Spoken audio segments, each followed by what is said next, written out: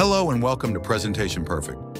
In this tutorial, I'll show you how to use the morph transition in PowerPoint to create this slick, seamless effect as you move between slides. Just a heads up, the morph transition requires PowerPoint 365 or version 2019 or higher. All right, let's get started. Okay, so let's start by changing the background color. Just right-click, go to Format Background, and pick a color of your choice. Next, let's add in our text. I'm using the font Alisassi Caps, size 134, in white for the heading.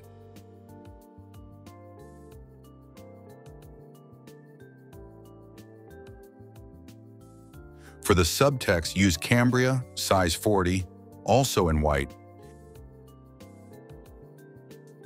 Make sure everything is center aligned so it looks clean and balanced. I'm also grouping the text boxes to make them easier to work with when we apply the morph transition.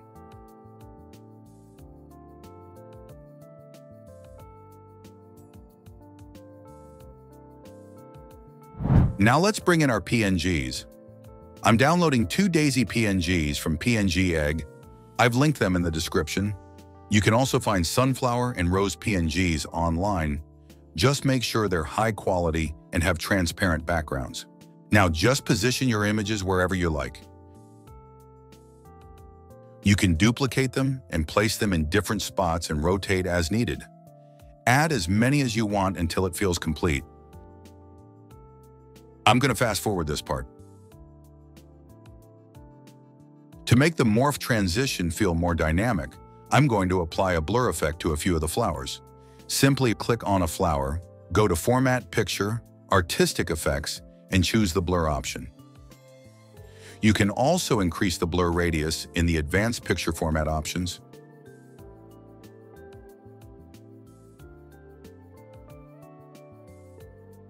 This creates a nice focus effect. Some flowers will look closer and others further away. Once that's done, insert a new slide, change the background again, and add your new text. I've already prepped some text for this one. Just paste it in, center align it vertically and horizontally. Now repeat the flower placement. You can use the same PNGs, just copy and paste them from the first slide and adjust their positions.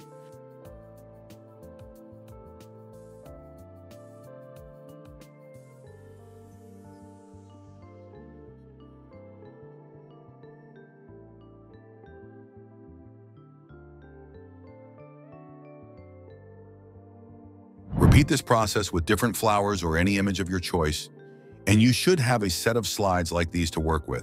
Now that our design is ready, let's convert everything into frames for the morph transition.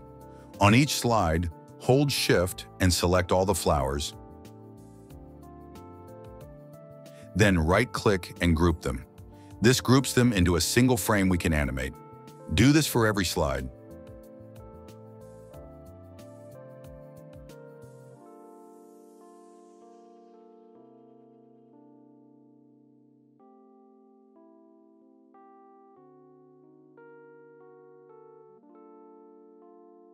Once all elements are grouped, we'll prepare the morph animations.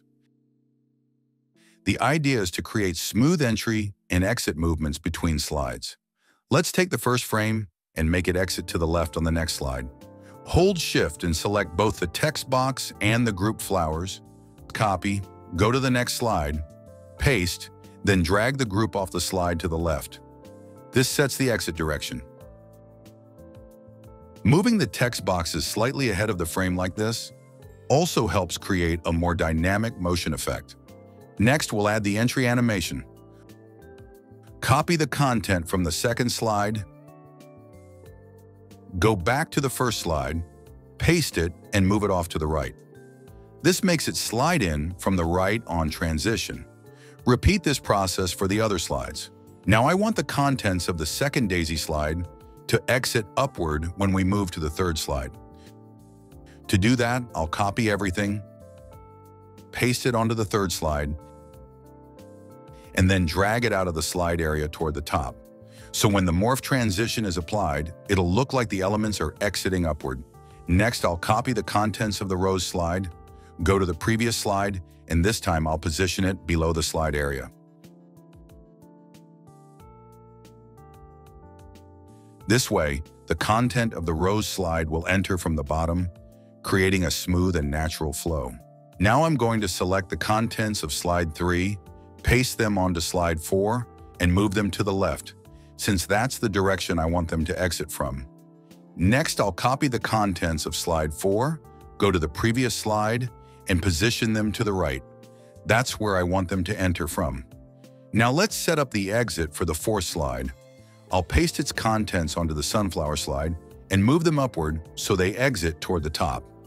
Then I'll copy the contents of the sunflower slide, go to the previous slide, and position them at the bottom, just like we did earlier.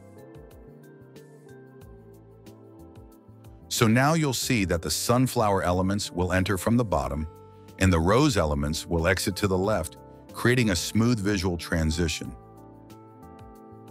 Now I'm going to create the exit animation for the contents of slide 5. I'll paste them onto slide 6 and move them to the left.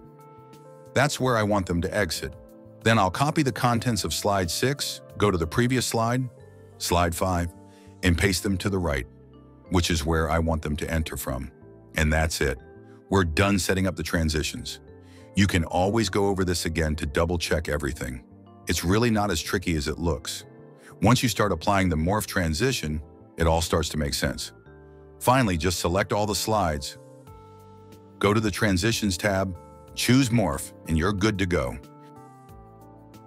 If you enjoyed this tutorial and want more creative PowerPoint tips and tricks, consider subscribing to the channel leaving a comment, and checking out my other videos.